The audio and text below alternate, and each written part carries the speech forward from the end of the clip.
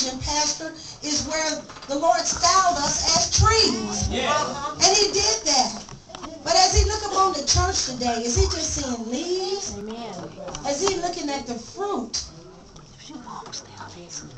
that is on the tree? Are you producing the fruit that God is calling for us to produce? And as I began to stand in my kitchen, when the Lord began to speak to me about how he went, and the multitude followed him, and as the multitude followed him, the Bible said that Jesus looked out upon the multitude, and the Bible said that he moved with compassion.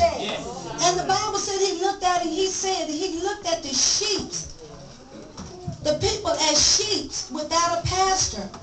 And I began to say, Lord, give us the eyes of you. That's right. Because when we look out on the center man and look out in the world, what do we see? Do we see But no, we'll quickly judge them and say, look at the goat, look at the center man. But Jesus didn't do that. That's right. Even in the midst of the multitude, there was goats, there was sheep, there was uh, the problem some of everything, sinners, some of everything that was in that multitude. When God looked out, he looked down the multitude and he styled every one of them as sheep. Yes, yes. And so I'm praying that we get the eyes, the mind of God. And that we count those if though they were. We got to begin to see out of the eyes of Jesus. We got to begin to